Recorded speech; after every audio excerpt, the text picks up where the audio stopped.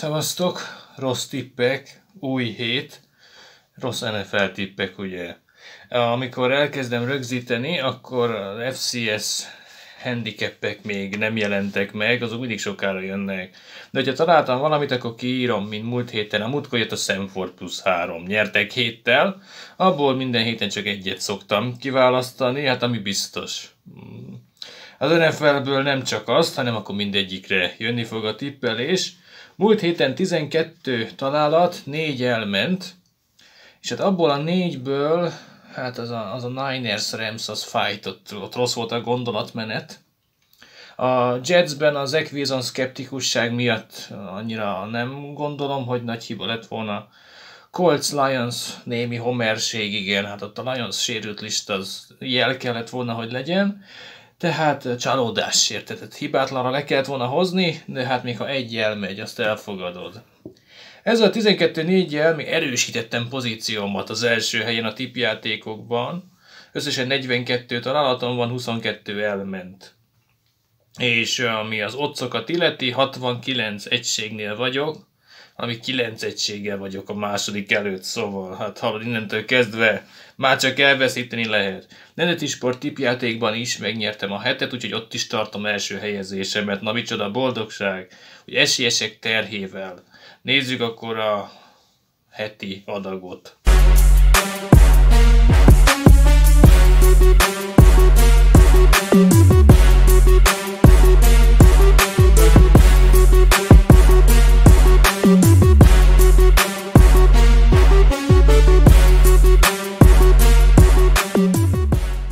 Nagyjából 10 meccsnél húztam meg a határt, aminél könnyű megmondani mi lesz, és hat olyan találkozó van, aminél hát könnyen rádumálsz a másik csapatra, vagy hát rá nem is dumálsz, de el tudom hinni, hogy, a másik fog nyerni, mint amit én mondok.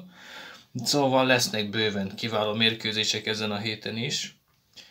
És összesen most, hát nem nagyon megyek underdogokkal, egyetlen egy olyan csapatot választottam ki, amelyik pontokat kap. Szóval hát nem lesz egy izgalmas menet, de hát azért nézzük végig. Magabiztossági sorrendben. Múlt héten hát bevált. Magabiztosságban első helyre Green Bay. Könnyen megnyeritek fiúk, ha nem, meg is nyerték könnyen hosszabbításban. Na most azt mondom, akkor megint csak London mérkőzés, Green Bay. Most a New York Giants lesz az ellenfél, hát akkor ezt most megnyerik még könnyebben. Úgy attól, hogy az egyik mérkőzés szenvedős, utána a következő az lehet, hogy lazább lesz. Vagy a Green Bay mindig nyer, az a kérdés, hogy most könnyen, vagy nehezen, vagy közepes. Esetünkben mindegy egyébként. A 8 pontos favoritnak számítanak Londonban, ugye, ahol nincs hazai pálya, egyik csapatnak sem. Hát hivatalosan van, de hát az, az tudjuk, hogy mennyit ér. Mindenki másféle mezbe van. Frankfurt előfordul, ugye. Giantsben Daniel Jones vállalja a játékot. Jó, hát azért jobb, mint hogyha ki van ott? Várja, Davis Webb. Jobb, mint hogyha Davis Webb lenne, hát igen, az biztos, hogy már Jake From próbajátékon volt, de összedoltozták a doktort, a másik doktorok. Ettől függetlenül az eléggé félteném őt, hogy ezzel a Green Bay jelen nem sok pontot csinál. Úgyhogy hát pozitívan maradnak, ugye, mert most 3-1, de nem ide lövöldöznek, az a liga élcsapatait nem verik meg, már bocsánat. A liga alját azt meg tudják verni, hát látjuk, van rá rengeteg példa, de azért most ez másfajta versengés lesz. Én szerintem Green Bay ezt megnyeri könnyen. Védelmük nem igen kap pontot, néhányat meg valahogy csak csinálnak. Tudnak majd futni valószínűleg, hát akkor legyen az. Ennél is nagyobb spreadet láthatunk a következő meccsre. Én második helyre lecsúsztattam azért Buffalo-Pittsburgh összecsapás. 14 pontos favorit Buffalo, hát soha ennyire nem alázták még meg Mike Tomlint, hogy ekkora favorit legyen az ellenfél, de hát most eléggé úgy néz ki, hogy a körfűrésznek mennek. Tavaly legyőzték a Bills-t. Ugye az első fordulóban általános megdöbbenésre Steelers győzött, most hát rá akarnának duplázni, nem lesz könnyű. Trubiskit kiszedték, úgyhogy nem lesz bosszú meccs korábbi buffalo cserejátékos részéről, hanem Kenny P. áll be, hát nem lesz könnyű dolga ugye itt a hátralévő szezonban, itt se. Ezen a mérkőzésen sem lesz könnyű, de hát mondogatják, hogy Kenny leszokott rossz szokásáról, és immár gyorsan szabadul a labdától, arra szükség lesz. Egyébként, és hát akkor miért ne nyerhetne pár harcokat a Steelers, azért itt a tartalékos Bill secondary ellen lehetséges, kellene tudni mozgatni a labdát, hogyha igazak a híresztelések, és hát Kenny most már így dolgozza fel az információt, érted? ez a defense-re, hát már egyből tudja ki hova megy. Hogyha ez így van, akkor tudja majd mozgatni a csapatot, meg akkor lehet, hogy rajta maradnak a térképen, és nem kapnak ki sokkal. Amennyiben tajkálja, visszajönnek a rossz szokásai teljes mérkőzésen keresztül, esetleg a lábával nem tud hosszabbítani, akkor megértjük, hogy miért két touchdownos underdogok. Szóval ez most itt a Steelersnek a státusza, hivatalosan bekerültek, underdognak számítanak. Rég volt ilyen alapvetően, de hát most akkor hátralévő részében a szezonnak rúki irányítóval hát nem nagyon lehetnek komoly elvárásaid. Miközben azért jön Josh, aki múltkor hát nem csinált túl sok pontot, mert esett. Na most milyen lesz az idő? Mindegy. Azon a terepen mindegy neki. Buffalo csinál majd sok pontot. Nem érdekli, hogy az ellenfélen Steelers logó van a védőn, ettől függetlenül eljuttatja az embereinek Josh. Működni fog támadás. Csinálnak sok-sok-sok-sok pontot. Az meg általában győzelmet ér, mint például itt. Nem is arra kíváncsi itt senki őszintén szólva, hogy na, vajon Josh tud haladni el? Tud. Nyugodjunk meg. Itt mindenki arra kíváncsi Kenny P. Mit csinál majd első találkozóján. Én is kíváncsi vagyok rá. Hogyha jó arcát mutatja, tényleg, és nem tudnak oda kerülni a Von Millerék, ő hogyan? Nem tudom. Meg ugye a Blitzet majd felveszik? Nehéz kérdés, ugye? De hát ritkán küldi a Buffalo Blitzet. Ugye? Hát milyen jó. Véletlen oda küldenék, akkor meg majd meglepődnének. Szóval nagyon nagy baj van. Azt mondom neked, hogyha itt a Bills akarsz támadni, de hát kompetens irányítójátékkal minden felülmúlható. Na most azt mondják, hogy majd Pikit megadja nekünk itt a kompetenciát. Hát kíváncsian várom. Mennyi növekedési fájdalom lesz ebben.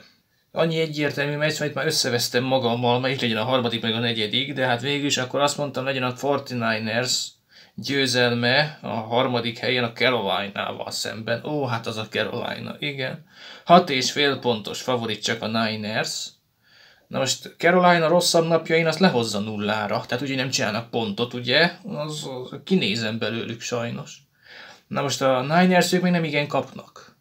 Tehát ugye itt a ligában van 20 bitang defense, hát most kettőt meg tudunk majd nézni egymás ellen.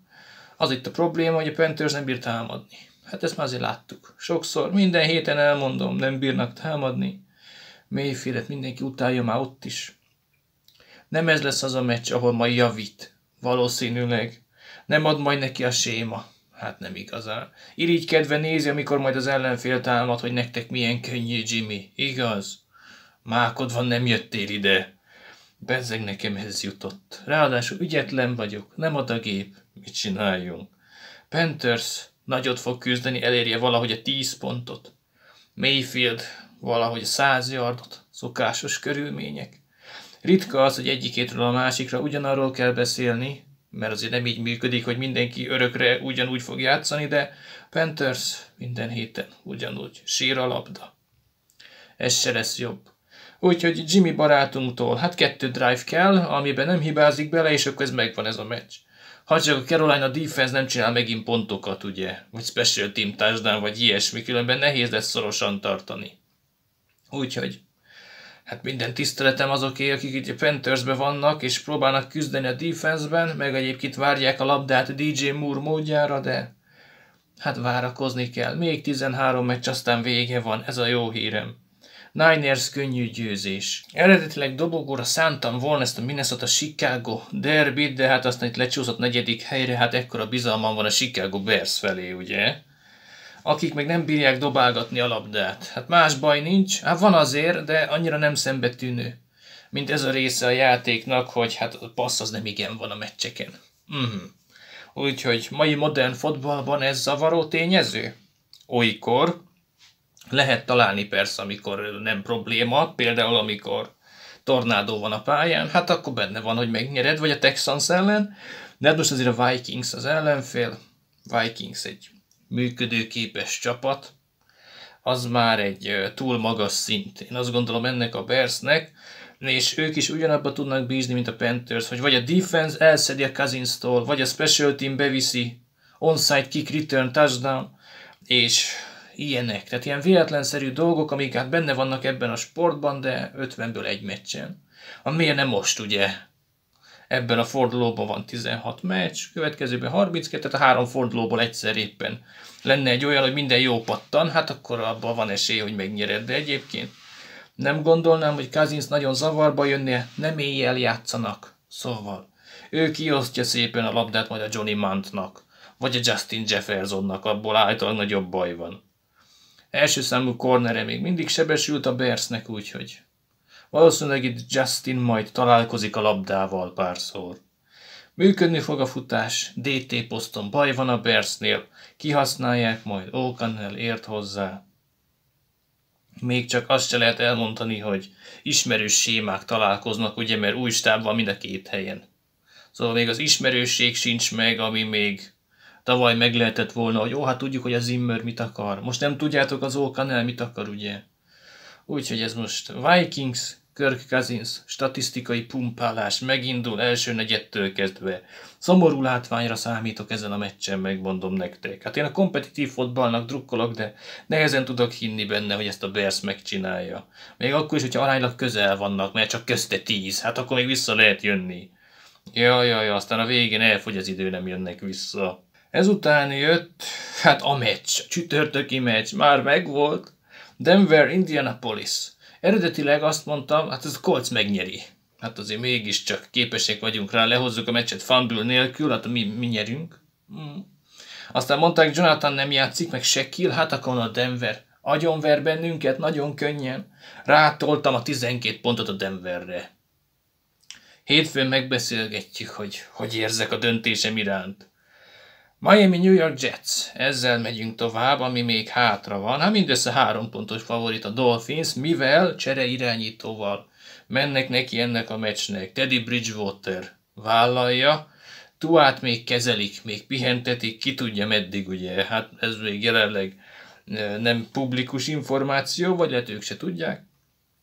Dolphinsban egyébként nagyjából megvannak a többiek, Zach Wilson győzelemmel debütált. Na hát akkor most, hogy áll Zach Wilson szkepticizmus méter, hát még elég magasan van továbbra is, mert majd most a Dolphins jön a blitzekkel, igen, ez lesz az probléma. Jets, hogyha támadó falat nézzük, tartalékos, ha fel is gyógyul valaki, kettő kiesik, úgyhogy nagy baj van. Összeszokatlanság az nem jó, érted, hogyha be kellene segíteni és Zach Wilson dajkálja a labdát, úgyhogy ez neki egy rettenetes matchup. És hát benne van, hogy akkor vakvilágba előre vágja Xavier Howard interception. Bár sérüléssel bajlódik, Xavier azt hiszem, hogy ágyék sérülése van, meg hát egyébként is vannak hiányzók azért, hátsó hetesből, nem a legjobb összeállításban jön ilyen szempontból. A Dolphins secondary, de hát az egy nagyobb bajod ne legyen. Kompetens játék azért lehetne haladni ellenük, nyilvánvaló, de itt olyan peszrásra számítok, zekket betemetik egyfolytában. Aztán abból már csak garbage time drive-ok lesznek, amik pontszerzést érnek. Sajnos a Jets szerintem bőven elmarad, ami az edzői stábot illeti, és innentől kezdve hát dől minden, mert hát nem biztos, hogy az irányítójuk jobb. Mind a kettő ugye San Francisco-i menekült, egyrészt ifjú Lafleur, másrészt ugye McDaniel is, de hát ugye Lafleur nagyobb név, úgyhogy hát ő iránta volt a nagyobb hype, de lehet, hogy a jobb rendszert még McDaniel rakja össze. Hát a jobb játékosai neki vannak, ugye? Úgyhogy az is azért belejátszik. Teddy szerintem tudja majd mozgatni az offense így, hogy nem véletlenszerű csütörtökön áll be egy meccsbe, hanem tudják már régóta, tíz napja, hogy akkor te leszel a kezdő. Tehát azt gondolom, hogy meg lesznek rajzolva a játékok. Teddy odadobja, Jets, hát eléggé középszerű, ami a nyomásgenerálást illeti, szóval Teddy nem fog összezavarodni. Leveszik a terhet róla. És tudom, hogy konzervatív amúgy Bridgewater, de egyébként, hogyha azt látja távolban, tök üresen integet, vadul lehet, hogy oda meri dobni. Az még izgalmas lesz egyébként, hogy itt a szuper sebességű, superstar wide receiverekkel majd a Sauce mit csinál. De hát annyian vannak ezek a delfinek, valaki biztos üres lesz. Lehet mondjuk Geszeki a Big Slotból, vagy a Sherfield, vagy az Ezukamma aktiválódik. Szóval temérdek millió játékosa van a Dolphinsnak, aki veszélyes a labdával, ismerjük már. Jetsnek van két-három normális coverage védője. Hát ha jó indulatú vagyok, három, na tessék. Na hát az, az kevés, ugye? Így van, úgyhogy Teddy majd megtalálja, akit meg kell, de leginkább majd meg Daniel rajzolja neki, hova menjen a labda. Úgyhogy szerintem a labda azon oldalán könnyű Dolphins támadás, labda másik oldalán szenvedős Jets támadás. Eleve múltkor nyert a Jets, tehát egyfolytában nem lehet nyerni. Még arra felé sem. Úgyhogy ez megint csak könnyű Dolphins. Minusz három, az szerintem kevés. Azért Teddy nem olyan nagy visszaesés Tuához képest, Nyilván upside nincs benne, szóval nem kellene, hogy ő kezdő legyen, ezt adom, tehát ő csere irányító, de hát karrierje ezen pontján valójában szerintem nem olyan nagy visszalépés Tuához képest, hogy ilyen szerény szám legyen, mint ez a mínusz három. Jóval nagyobb a bizalom, másik floridai egylet Jacksonville irányába, ők 7 pontos. Favoritok a Houston ellen, ez azért érthető. Houston véletlenszerű egy darab pontszerzéssel, mármint hogy 0-0-át játszottak ugye a Colts ellen. Azt lesz, amit még nem nyert, hát valószínűleg most se nagyon fognak. Mert Davis Mills felszívja magát majd kortársa ellen, Trevor ellen. Nehezen hiszem el. De hogy a felszívás az annak számít, hogy csinál egy-két pontszerző drive-ot, hát az, az nem, az én szememben nem elég, hogy versenyre keljenek. Jaguarsnál múltkor csúszott a labda, Úgyhogy ha nem láthattuk őket igazi formájukban, Trevor is sokszor elveszítette meg, hát a liga első ellen fociztak. Valójában az első három forduló az többet mond arról, hogy a Jaguars milyen csapat, erősebb csapat, mint a Houston. Ezt azért meg tudjuk állapítani, akkor is, hogyha rettentő elfogultak vagyunk a Texans irányába, azért nehezen találjuk meg a menüpontokat, amik alapján erősebbek lennének, mint a Jaguars. Edzői fronton, játékos keretben, quarterback poszton, akárhogy nézzük. Miben jobb a Texans? Na, van valami? Nincs. Ha van, na mondjad, nincs olyan. Oké. Okay. Hát akkor ez a Jaguars megnyeri. Lehet, hogy héttel. Hú, hát az már nagyon-nagyon domináns lenne itt a csoporton belül, de hát itt a Superligában azért nehéz sokkal nyerni. Én szerintem a Jaguars megcsinálja, még így is, hogy nem játszik a Zay Jones. Nagy igazolás. Nem direkt, de hát most sorra kerül harmadik floridai gárda. Kérem szépen Tampa Bay tudtad, hogy melyik az. Atlantával fociznak. Jó hír, Tampa Bay gyógyul, támadófal nem, de hát az elkapók már gyógyulnak. És tudom azt, hogy a Godwin vagy a Julio mindig egy snapre van attól, hogy visszaessen, hát főleg utóbbi ugye. De hát most így egész jól vannak, már tudni fognak olyan összeállításban versenyezni, ami hasonlít megálmodott kezdőre, és akkor meg a Brady majd odadobja nekik a labdát. Erre azért láttunk példát a Chiefs ellen is, és hát akár mennyire is pártolom ezt a Falcons-t támadójátékban, meg hát vannak azért ügyeske védőik, azért nem keverem össze a Chiefs-szel. Azt gondolom Tampának könnyebb dolga lesz. Ezen a találkozón hát 10 pontos favoritnak számítanak nem véletlenül. Mondjuk Arthur Smithnek könnyebb dolga van, most végre, mert Kyle Pitts megsérült, úgyhogy nagy mákjára nem kell neki dobni a labdát, meg nem fognak reklamálni miatta lehet, hogy esetleg ő verte hátba, hogy akkor Kai nem játszol többet, ugye, mert nem hagynak békén veled. Arthur Smith is azt szeretné, hogy csak gyakorló csapatosokkal milyen fotbalt lehetne játszatni. Hát ez az álma, ez nem valósul meg sajnos, majd még Drake London a pályán van, aki első körös, aztán muszáj egy-két nagy nevűt betenni, de hát ő egyébként ilyen NB3-as csapatot akarna edzetni, aztán azzal indulni magasabb osztályban.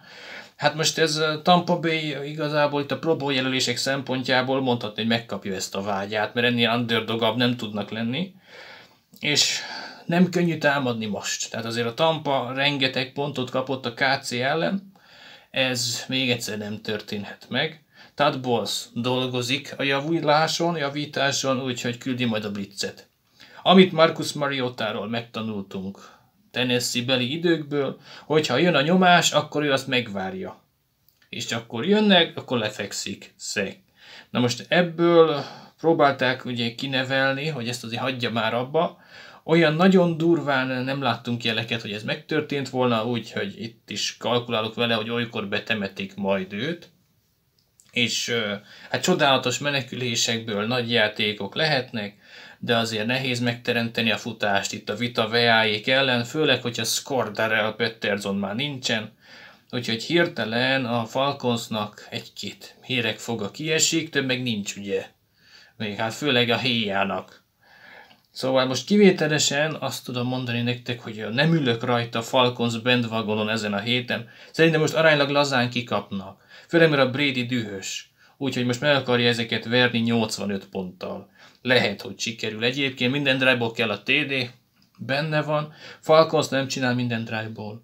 Úgyhogy ez aránylag hamar eldől ez a mérkőzés. Monday Night Footballra ugorjunk, na végre már valami főműsoridős, ugye? Nyugati meccs, hát mindig jó meccs. Monday Night szintén. Kansas City, Las Vegas. Na ez jó lesz? Hát ez egyértelműen talán azt lehet rá mondani, mert a Las Vegasnak a meccsei nem igazán szoktak a szemkápráztatóak lenni, bár van benne izgalom, ugye? De hát az nem biztos, hogy a színvonaltól. Most ugye Chiefs lenne itt az ellenfél. Óvatos 7 pontos favorit a Chiefs.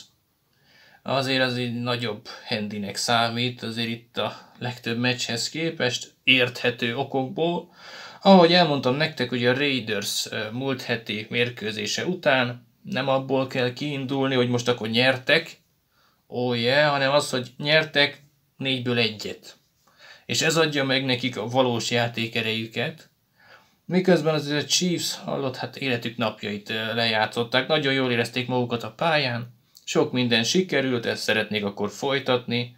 Divízió rivális ellen szerintem minden adott hozzá, hogy egy újabb domináns performance-t előhúzzanak, és hogyha úgy áll hozzá Andy Reid, hogy na ezeknek is akarnak csinálni nagyon sokat, és ilyen divers playbookkal neki mennek, sok mindent rádobva az ellenfélre, aki aztán nem érti már, hogy, hogy mihez nyúljon, akkor lehet, hogy ez a Raiders is kap igen sok pontot. Játékos állomány alkalmas rá Las Vegasban, hogy sokat kapjanak.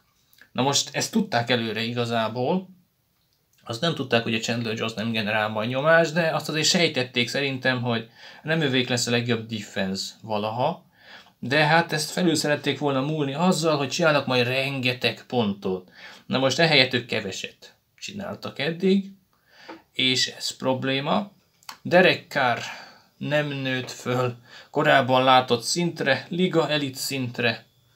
Kapjuk átlagos Derek Carr-t. Elég ez ahhoz? Legyőzd a Kansas City-t? Nem elég. Köszönöm. Derek Carrnak persze voltak olyan találkozói, még Gruden alatt, amikor túl akarta dobni mahomes ez eh, hát nem annyira smakkol azzal, amit a McDaniels kitalál, mint ideális gameplan. És hát hogyha az a terv, hogy hát megint kellene akkor egy ilyen kiemelkedő mérkőzés a Josh Jacobs-tól, meg majd a fal feljavul, hát akkor azt elmondom, hogy a Chiefs ellen nem fog feljavulni, mert egészen jó dolgozgatnak kérem szépen ott a KC beliek védőfal rotációt illetően is, megvannak, Chris Jones átér. Nem könnyű ellenük, csak úgy szaladgálni a labdával. És azt sem tudják majd egy hét alatt megoldani, hogy akkor hogyan legyen ez az Adams kérdés, többiek mennyit kapjanak, most akkor a Halins mennyire zavar be, mennyire kellene erőltetni a Wallert inkább helyette. Sok kérdés van a Raiders esetében. Chiefsnél nincs kérdés, ők a jobb csapat. Jobban ki van találva, hogy ők mit szeretnének. Ez általában győzelmekhez vezet. És a Raidersről persze mondogattuk azt, hogy hát ilyen felzárkózó csapat, meg szeretné is beleszólni ott a csoport elsőségbe, és ahhoz ezeken a meccseken kell a legjobb arcát mutatni. Ha ez megtörténik, akkor boldogok leszünk, mert akkor jó meccs, de egyébként a Chiefs tud nyerni jó meccsen is. A rosszon meg egyértelműen ő fog nyerni, mert hát ők a jobbak, úgyhogy ez sokat nem kell itt sem gondolkodnom, hogy ki nyer, látva az eddigi 4-4 találkozót. És akkor most jön az utolsó olyan derbi, amire könnyen rámondtam, hogy mi lesz. Ez a Philadelphia-Arizona, már elnézést kérek, de hát ezt azért tudtam egyből. Nyilván nem nagyon tudok Philadelphia ellen tippelni, azért mégiscsak személyes érintettségem nyomán, de hát ez van. Jalen Hurts csapata újra győzni fog, 5-0 felé menettelnek.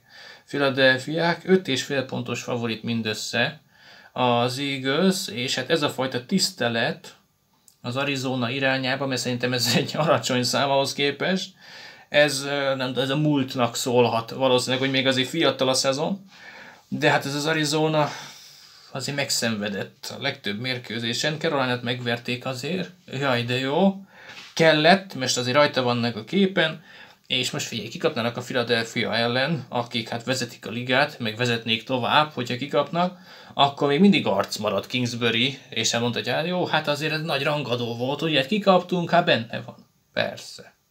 Benne van ez. Jobb edzői stáb Philadelphia, volt merszem ezt mondani, igen play caller szinten is, hát Nick nem hív játékokat, ugye, hát ő csak a, ugye, a nagy igazgató. Ide jutott, érted, egy év kellett hozzá, hívja playeket más. Így.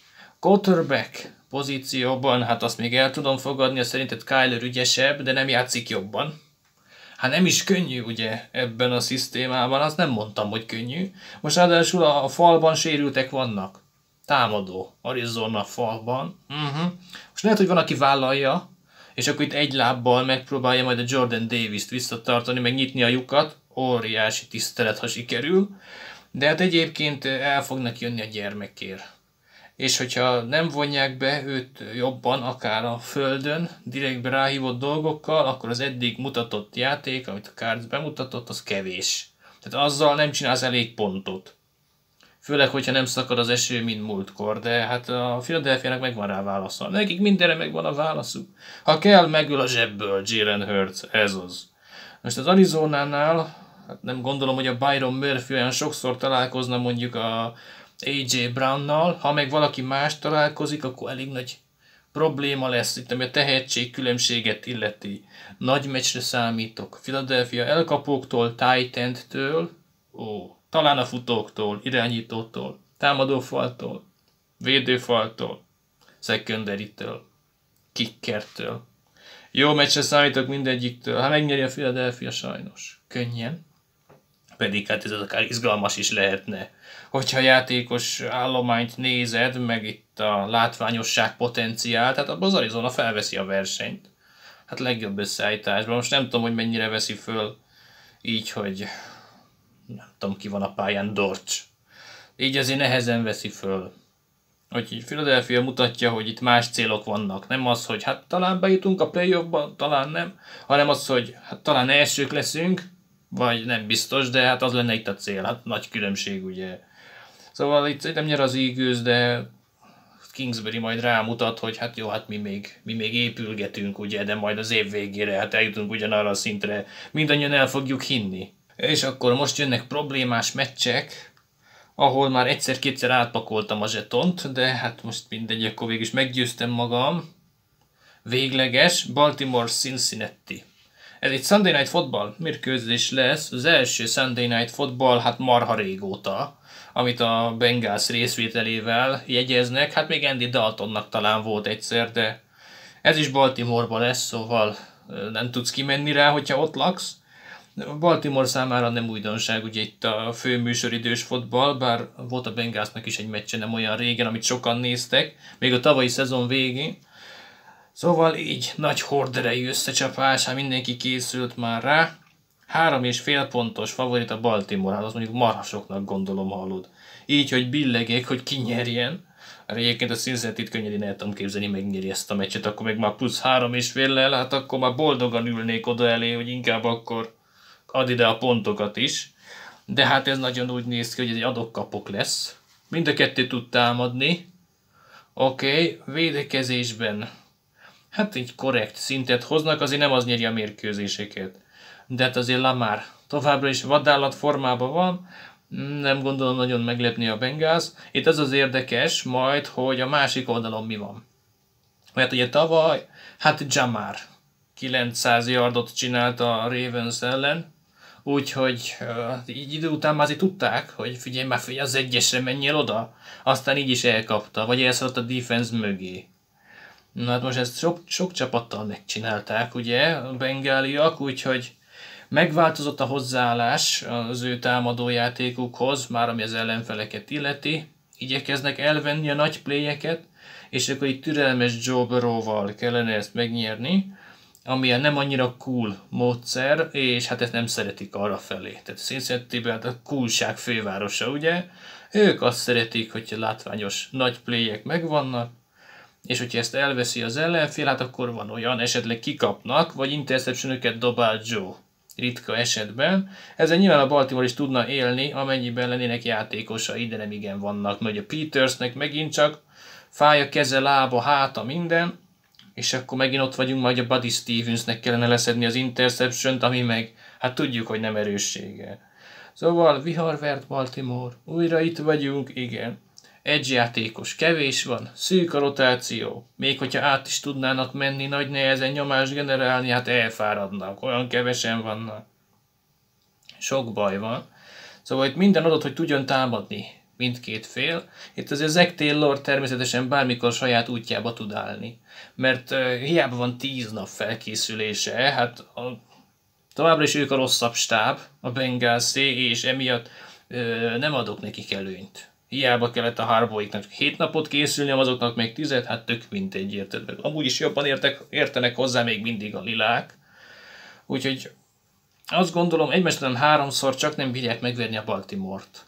Főleg úgy, hogy kétszer megverték könnyen. Na most lehet, hogy ebből az lesz, hogy most megverik nehezen, és azzal is elmozdul a tű, de hát most ezzel kalkulálok. Valószínű, hogy most nyer a Ravens, mert hasonló erejűek, most kevésbé sérültek, mint tavaly, hát főleg a második meccshez képest, és hát ezért akkor most kiütközik az, hogy valójában annyival nem jobb a Bengals, mint tavaly kétszer nyertek, ugye nagy különbséggel. És közben már láttuk azt, hogy hogy Dubbins kezdi visszanyerni a formáját, azért Ravensben nagyon nem mindegy, hogy van futó vagy nincs, és hogyha esetleg őt tisztelni kell valamilyen szinten, akkor az megint csak ad egy réteget annak, hogy azért nehéz legyen védekezni a Ravens ellen. És Lamar közben meg pontosan passzol. Na most a Batemannek nem tud majd. Megsérült Bateman. Probléma egyértelműen, szóval itt a kisnev hülyeknek kellene passzolni, ami már hát megint csak inkább a Cincinnati-nek kedvez, de hát Lamárba benne van a varázslat.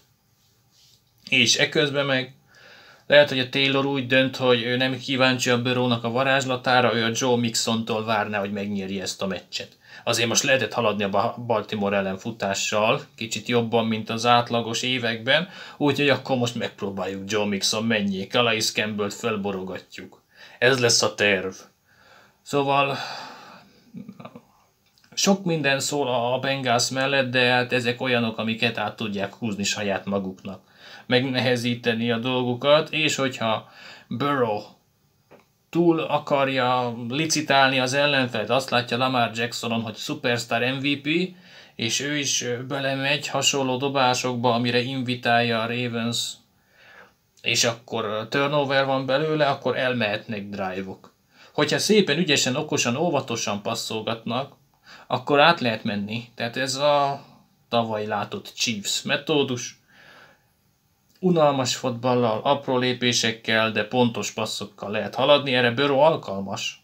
Tehát ő pontosan dobja akárhova, de hát hogyha Sunday Night Football, csillogás, ilyesmi elviszi a hévbe, akkor meg lehet, hogy ráfaragnak. Ez, számítok egy-egy ilyesmire, hogy azért rutinból, hozzáértésből Baltimore valahogy ezt lehozza.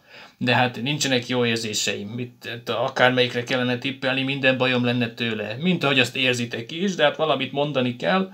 És azt mondom, hogy nyer a Ravens a múlt miatt. Hát az a mindig a legjobb érv, ugye? Na most gondolhatjuk, hogy a maradék öt meccsen mennyire vagyok magabiztos. Mert itt van nekünk például ez a New Orleans-Seattle találkozó. Nem játszik James Winston, továbbra is Andy Daltonnal a Saints. Na most ez nekem annyit jelent, hogy egy egészséges irányító lesz a Saints bennem pedig egy sérült. Ami azért egy fontos kitétel. Szóval itt azért látom az előrelépést, ahhoz képest, mint hogyha James lenne ott, aztán fájó csípőcsonttal próbálna beleállni a paszba. Én értem Winston, hogy játszani akar, mert hát neki a kezdő napjai meg vannak számlálva, hogyha ez az év rosszul sikerül, és pályára akar menni, de Hát láttuk például Mayfieldnél, hogyha ezt sérülten csinálod, akkor inkább leépíted magadat, úgyhogy New Orleansban jó döntéseket hoznak, megóvják saját magától az irányítót, Dalton meg jól van. És szembe jön velük az a Seattle, amelyik a liga 31. védelme, Szóval itt azért lehet haladni. Akkor is ugye nincs a Michael Thomas, hát ő ritkán van ugye ott a mérkőzéseken, de hát hogyha azon majd dobja Callaway-nek Andy Dalton, tehát ezt láttuk Londonban, én szerintem ebben az összeállításban is tud majd haladni a Saints, Kamara is ugye küzdködik, Latavius Murray-t elrabolta Denver gyakorlók közül, tehát már futó is kevés van. Ide jutottunk a, a Saints-nél, majd fut a Taysom, nem? Tailbackből. Én azt még behívnám, teszem azt hozzá, mert jön a Prentice fullbackből.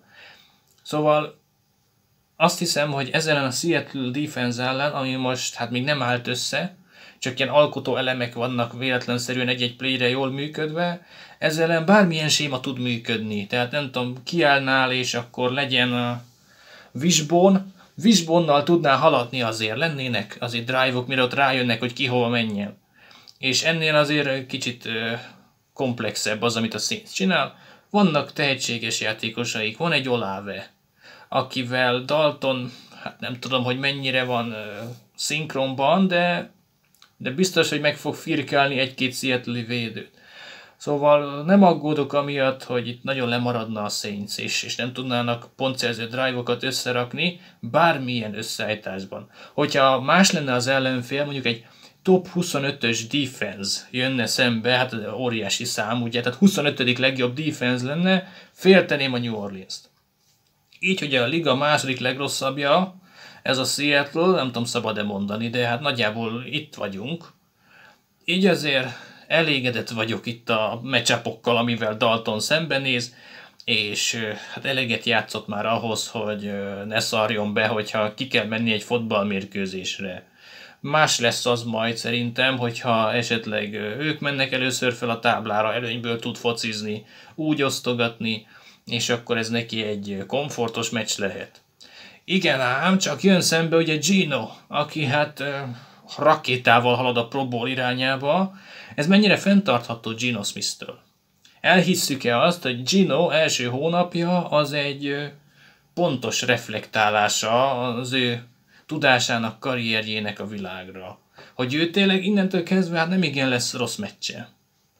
Ha lesz rossz meccse, akkor ez egy megfelelő matchup például, hogy New Orleans elrontsa az ő játékát.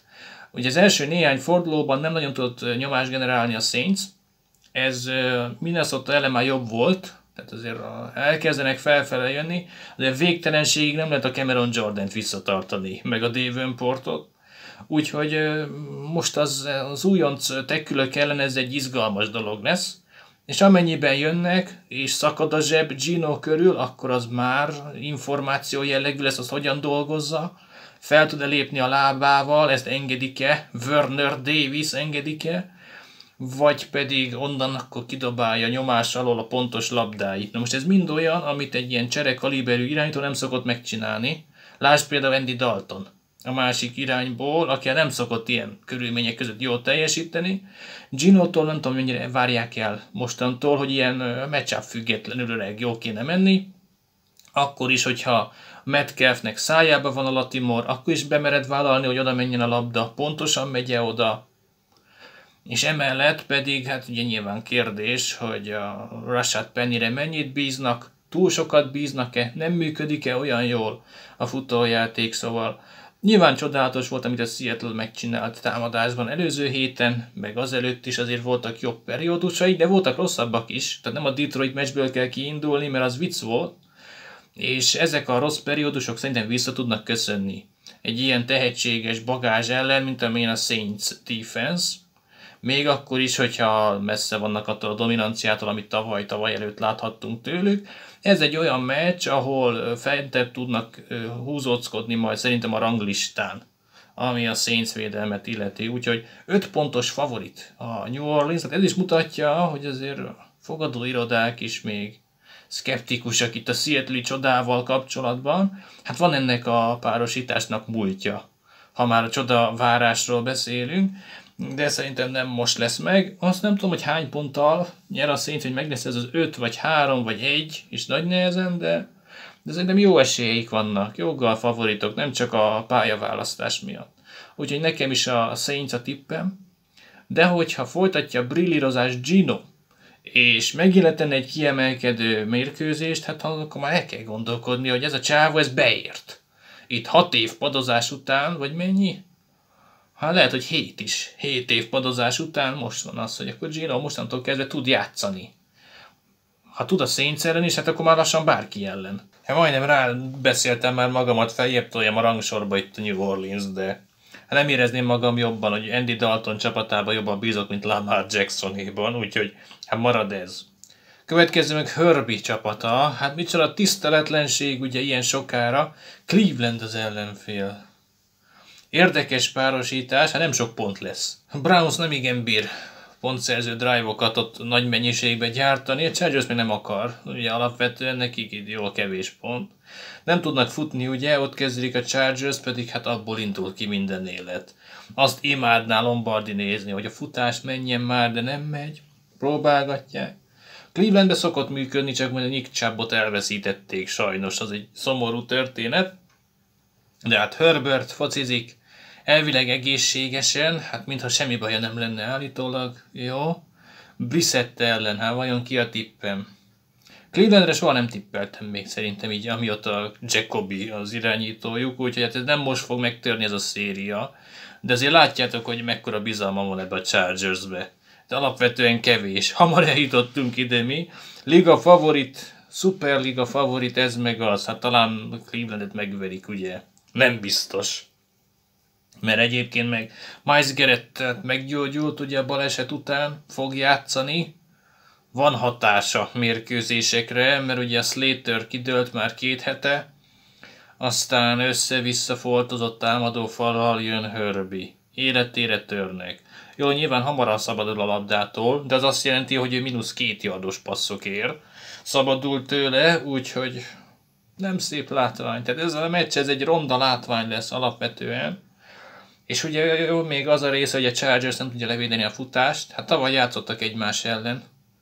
Nem volt szerelés, úgyhogy, mármint, hogy mez volt rajtuk, csak futókon nem volt tackle, amit a Chargers bemutatott volna, hát most megerősítették ugye a defense megerősítették, de Joey Bosa kidőlt, úgyhogy lehet ellenük majd futni. Ez majd Cleveland megpróbálja, Stefanski megrajzolgatja kis Titanjének, Njoku vs. Derwin James, hát titánok harca, Ohio-ban ezt gondolják. Mi egy válvonással elintézzük a párharcot. Nem tudom, hallod, hogy most milyen meccsre lehet számítani Cleveland egyéb támadóitól, Amari Cooper-től, hogy ő most éppen melyik arcát mutatja. Azt tudom, hogy a Joku felé megy majd labda, de hát hogyha ott értelmes védekezés van, akkor nem sok haszna lesz talán, de hát a futást azt nyelni szokta a Chargers. De és erre a meccsre hogy készülsz föl érted, hogyha a Staley vagy? Hát mi a fenével foglalkozol egész héten? Csak ki kellene már valamit találni, ne kapjanak minden futásból 9 yardot. És akkor figyelj, Jacobi megszivat, hát akkor, akkor elfogadod a vereséget, csak ilyen nem szokott megtörténni. És eközben még nem tudom, hogy a Herbie hogyan varázsol össze itt megfelelő mennyiségű pontot, de azt soha nem tudom. Keenan ellen egyelőre kérdéses, majd talán vasárnap kiderül, hogy tudja vállalni a meccset, vagy nem. Hát nem ártana, ha ott lenne, de már lassan megszoktuk, hogy nincs ott.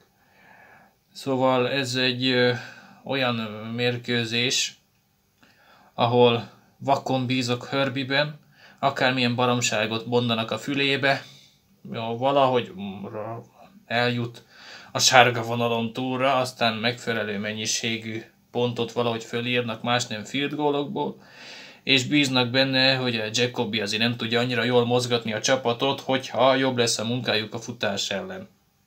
Hogyan lesz jobb?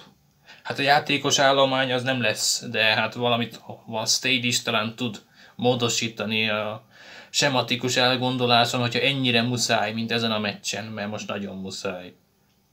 Szóval így, Herbert, Brissett ellen, csak Herbertre lehet tippelni, mindegy ki a másik 52 játékos. Chargers. rettentő látványos meccsen. Ezután raktam be a Rams Cowboys találkozót, ahol hát teljesen egyértelmű, hogy a Cowboys hogyan nyerhet.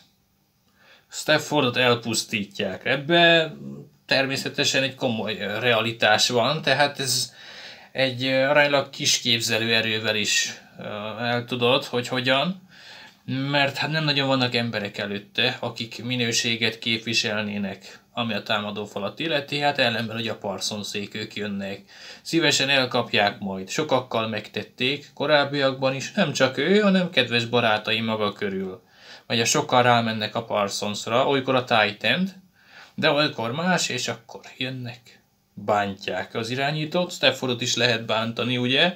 Nem az a fajta, aki olyan könnyen elmozogna, de legalább hát annyi előnye van, hogy azért kifacsart test helyzetből szívesen passzol, hát mögül, láb alatt, becsukott szemmel, úgyhogy tud szabadulni a labdától, és abból esetleg jöhetnek bravúros megoldások, de hát itt most ostrom alatt fog szerepelni minden bizonyal, és hogyha ezt a párharcot megnyeri a Dallas, akkor szinte a meccset is hogyha valamit kitalálnak, megvéljék, és 0,2 másodperc alatt szabadul a labdától Stafford emberhez, hát tudom, hogy kihez, ugye, Cooper, Cup, akkor lehet, hogy majd megnyeri a Rams, de hát még ugye ehhez az is kéne, hogy a Rams defense azért valamelyest jobban összezavarja Cooper Rush-t, mint az eddigi ellenfelek.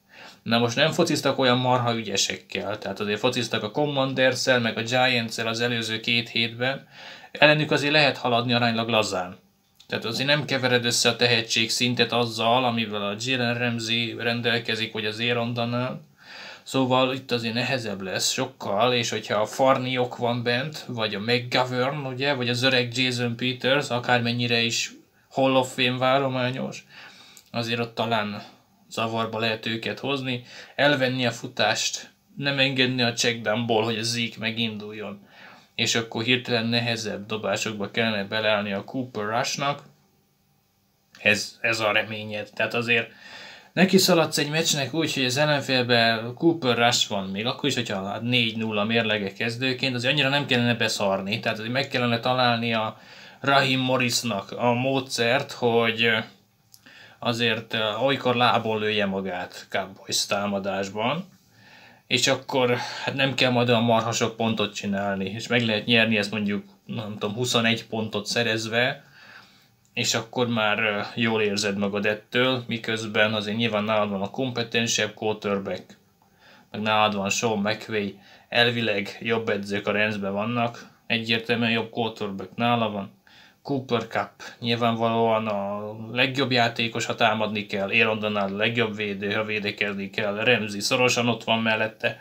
Szóval a Remsnek ezek a szokásos uh, sémák, amiket uh, el lehet mondani a mérkőzései előtt, ezek nyilván most is ott vannak, de hát hogyha keret alja ehhez uh, nem ér föl, tehát a kezdő szintet sem éri el támadó falban, akkor bedőlhet az egész. Na most itt megint csak feltételezem azt, hogy értelmes edzői munka folyik, ami egyébként hatástalan a Senehen ellen, de mások ellen meg hatásos. Például a mccarthy ellen. Még akkor is, hogy a Dan Quinn hát nagy edző, meg lehet találni valamiféle sarokpontját annak a, a védekezésnek, és át lehet rajtuk majd menni, de ehhez tény, hogy, hogy javuló teljesítményekre van szükség egyénileg, nem tud mindent elfeledtetni a séma. És hogyha megint azt látjuk majd, hogy Ellen Robinson felé, hát olyan, mint hogy a kútba dobálnád a labdát, és ezt megpróbálják sokszor, meg az Akers-t futtatni, meg a Skovronek legyen a vezérblokkoló, akkor hát a maga alatt elkezdi vágni a fát a Rams. Van egy ilyen tendencia megvénél, hogy azért nehezen vált, de hát hogyha az elejétől kezdve jól működik, és a felkészülési hét az rendben volt, akkor, akkor szokott működni egész mérkőzéseken át, és kihúzzák a végéig valahogy úgy, hogy előnybe maradjanak. Na hát én most ezt tippelem, egyszer ki kell kapni a Cooper Rush-nak. Van, aki azt mondja, hogy soha. Innentől kezdve megvan a gyűrű, és hát végig mennek hibátlanul vele. Én nem értek egyet, szerintem egyszer kikapnak majd. Ez a Rams például egy megfelelő csapat lehet, amelyik elrontja a játékát, elveszi a labdáját, és valahogy kisematizálják, hogy Parsonséknak ne legyen a nagy hatásuk. Vagy hogyha mégis, akkor még megnyerik kevés pontos meccsen defenzív TD-vel. Kevés ötletem van, hogy ez hogyan valósulhatna meg úgy, hogy a Kolóna center, meg a többiek, de nem nekem kell kitalálni, én csak számítok dolgokra. Például az, hogy a Cooperás nem nyer mindig. Na hát erős terv. Rems a tippem. 5 és fél pont a handicap, hát a Dallas plusz 5 és félet azt röhögve elfogadnám, hallod, mivel hát nincs ötletem a Remsnek a tervére, úgyhogy az ott tetszene nekem, de győztes kiréte az marad a Rams. Tennessee Washington utolsó előtti összecsapás, hát itt uh, megint csak nehéz megállapítani, hogy mi lesz. Hát ez a Washington, ez bűngyenge, tehát ők egy per egy felé haladnak, és hát nyilván a Tennessee a tippem, nagy riválisunk, ugye, Titans, nem szívesen tippelek rájuk, ugye, de hát most akkor még hogyha nyernek is, aztán tartják a lépést, hát legalább akkor ennyi. Örömöm lesz benne. Pedig már vártad volna azt mondom, nyer a Vence. Hát nem nyer a Vence, most se. Tavaly kétszer próbálkozott, mind a kétszer kikaptunk sajnos. Amikor a Titans ellen focizott, pedig hát próbálta bal kézzel dobni endzomból a védőnek.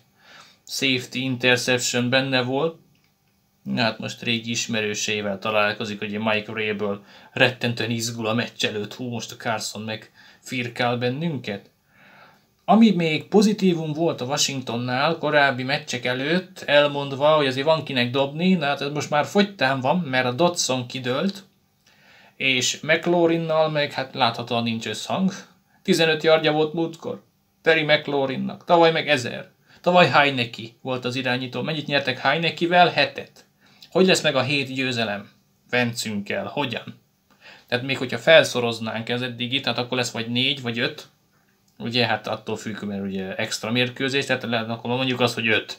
Na hát az nagy előrelépés lenne? Ja nem, visszalépés. Rosszabbak lennének biztos a Heinekivel. De hát nem lehet leültetni, mert hát akkor nem adnának pikket. Ugye, annak szurkolok, hogy le ne ültessék az embert, hanem akkor jöjjön a magas pikk a kolcba. Szóval, hú, de hát egészen borzasztó volt az a Washington, és az első heti meccs, a Jaguars ellen az volt a kivétel. Na most ez egy igazi túlreagálás volt az első héten, hogy hát ez a csapat, hallod, ez megjavul minden, de azóta meg borzasztó minden. Én azért, hallod, olykor egyszer véletlenül úgy gondolom, hogy el fog sülni ez a Washington Commanders, például egy ilyen Tennessee ellen, ami nem egy nagyon figyelgetett összecsapás, Azért más, hogyha Vence elmegy mondjuk Dallasba, azt az egy ilyen komoly mérkőzés, ugye, hát ott sok a hiba, de egy Tennessee ellen hát kevés ember figyel oda államon kívül, talán még játszhat jól is. Miért ne? Elvileg a Tennessee nem generál a marha nagy nyomást, bár a Jeffrey Simmons jön belül. Itt a Washington támadófalba továbbra is rosszul vannak, most ugye Kozmi is rosszul van már. Tehát a kezdő támadófalban már csak egy ember van, aki nem volt sérült még a 5 hét alatt. Azért az kevés. Úgyhogy ha jön a nyomás, Vence rossz döntéseket hoz. Igen, hogyha nem jön, akkor meg pontatlanul dobja. Futás mutka egész jó volt, azt nem lehet elvenni, hát az nehezen nyer meccset, ugye. Egy Titans ellen. tennessee jobb irányító van, jobb edzők vannak. Traylon Burks náluk is sérült, de hát Tenehill számára nem új információ, hogy a gyakorló csapatból jön fel valaki, hát mindig onnan jön. Jó, teljesen mindegy. Washington, tudnak már szerelést csinálni? Ja nem. Derrick Henry jön szembe. Ó, hát elrontják a szerelést. Ha ez felfele kell mozgatnom ezt a meccset. Mert olykor van olyan, hogy Vence véletlenszerűen megmagyarázhatatlan okból jól játszik, például tavaly az Arizona ellen, amikor előre vágta labdákat precízen, pompásan, annak se volt előzménye, és hát ez azért mindig benne van egy kis ördög, hogy lehet, hogy majd most, de hát így, hogy ennyire szeretvened borzadája defenzük, és nem tudnak egész egyszerűen megállítani semmit, még az orfolyást sem, én mondjuk tetszik nekem ez, a, ez az összecsapás, ez a része, hogy a Tennessee csinál majd pontokat, lehet még a második félidőben is. Ugye hát Washington meg az elsőben nem szokott csinálni, úgyhogy ez egy izgalmas lesz. Jó van, akkor így most megbeszéltem magammal, hogy itt azért ezt, ezt hamarabb is mondhattam volna. Igazatok van, de hát Tennessee-nél uh, nincs meg a konzisztens jó játék. Jó fél idejük vannak, aztán hát emiatt azért nem vagyok meggyőződve róla itt a tuti playoff részvételben. De hát ez a Washington, ez, ez tetszetős, azt gondolom, ami a párharcokat illeti. Még akkor is ugye nincs a Traylon Burks, aztán ha megint a Westbrook kinnának kell dobni, de itt még ő is üresre játsza magát. Tenehiltől higgadt meccsre számítok, megindul a lábával. Hát megnyeri a Tennessee. Minusz kettő, hát még azt is elfogadom. Több mint hárommal megnyeri a Tennessee, tessék. Na, ugrok a bandwagonra mindjárt. És akkor az utolsó meccs, az első olyan meccs, ahol az underdoggal megyek, hát a Detroit. Itt van. New England az ellenfél. Én szerintem ez hét meccse. Általában Detroit a hét meccse, de hát ez most tényleg az, hát ne őríts meg, ez egy kiemelkedően jó találkozónak néz ki. Bailey Zeppivel, ugye ráadásul, meg Jones hát nagyon nem gyógyult meg, Hoyer sem. Úgyhogy Zeppi jön, azt hiszem Gerett Gilbertet igazolták le a padra. Hát nem fog beállni. Zeppi jön. Nem tudom a sérült jelentést. Saint Brown kérdéses. Hogyha játszik Amon Ra Saint Brown, akkor ez egy nagyon meggyőző Detroit tipp a részemről. Hogyha nem, hát akkor akkor izzadós, sajnos. Három pontos underdog a Detroit, úgyhogy a Detroit plusz három az biztosan befigyel nálam. Hát ugye nagy edzők találkoznak, hát minden idők legsikeresebb edzője, minden idők leendő legsikeresebb edzője ellen, hát már történelmet tudunk látni, ugye. Bár még Belicek nem előzte be Súlát, csak a bajnoki címekben első, azért a legtöbb győzelem még nem neki van, de hát majd meg lesz. Nem biztos, hogy ezzel a meccsel kerül közelebb.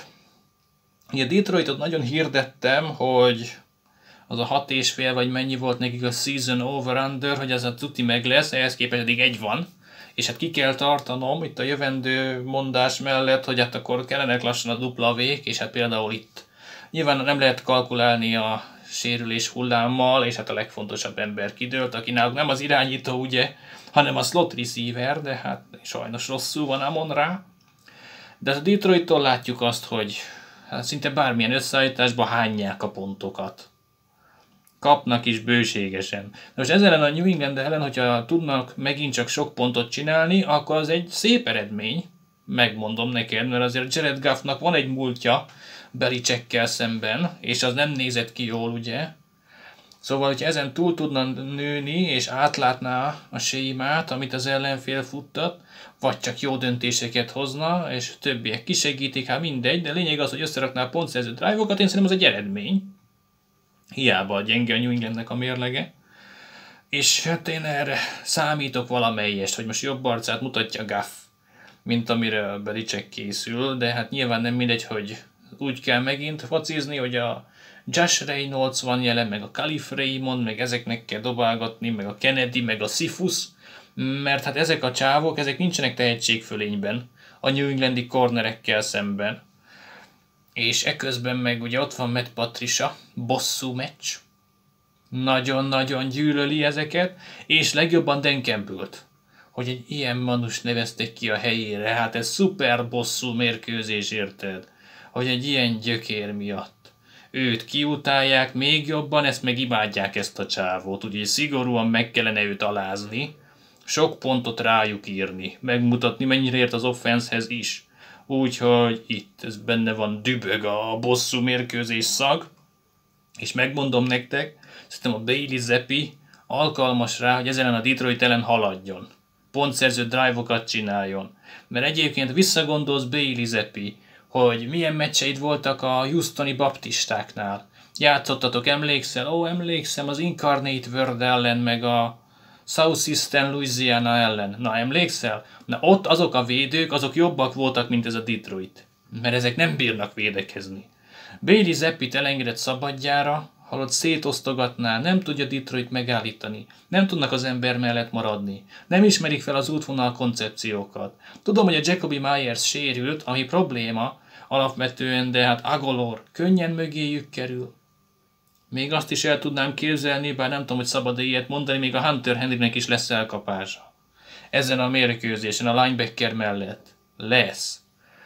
Az egyetlen remény a Detroitnak a nyomásgenerálás, de hát az nem biztos, hogy olyan jönni fog a marha sokszor. Tehát az, a Green Bay sem ért át egyfolytában. Jó, nyilván ott azért megmentette a rendszer, mert nem kértek az epitől semmit, csak a handoffot, meg néha egy-egy play action.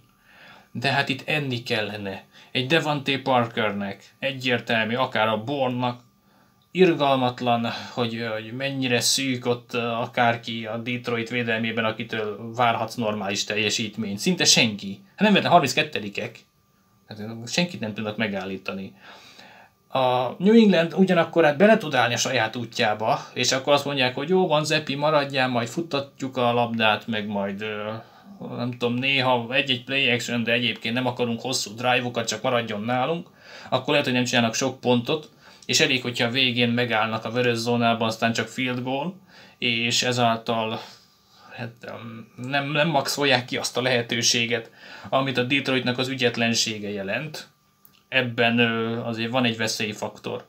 Hogyha látják, hogyha összedugják a fejüket Patricia, George, Belicek, hogy hát fiúk, hát ezeket meg kellene ölni. Valószínűleg egy Zepi képes ráérte, tehát a Western Kentucky a 75 passz kísérlete volt egy meccsen és mondom, olyan nagyon durván újat nem fognak látni. Most mondják az Aaron Glenn védőkoordinátornak, hogy butítsa le a rendszert, hát mert azon múlik egyébként ez a Detroit, hogy a rendszer túl bonyolult. Ja, ha jól van akkor, hát mondjuk az lehet, de hát attól még, attól még baj lesz.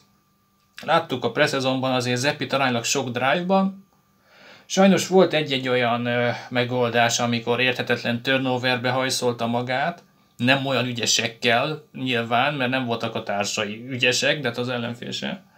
És ez azért baj lehet, hogyha egy-egy labda oroszlánokhoz kerül turnoverből, hát akkor nyilván akkor megborul minden, de itt, hogyha megkapnánk teljes zepi élményt, hogy akkor rángasd meg őket, mégiscsak NCAA rekorder touchdownokban, passzolt yardokban, mikor, ha nem most. Tehát ez az ideális beszállása egy újonc irányítónak, akkor is ugye negyedik körös, egy NFL kezdő pozícióba.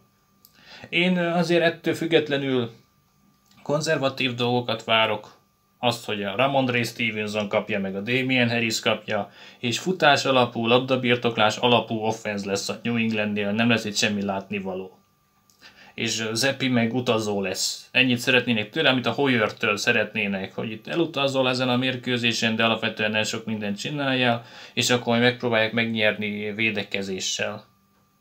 Úgyhogy ezáltal lehet, hogy nem lesz annyira látványos ez a meccs, mint lehetne egyébként.